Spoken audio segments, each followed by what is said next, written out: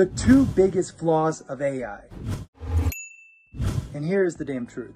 AI can do a lot of things, but it cannot do these two things. Number one, the biggest flaw that I see is it lacks community. And community and connection is a human desire that we all possess. So if you as a business owner or a happy hustler are looking to win in the next decade, create community within your product or service and really foster that human connection.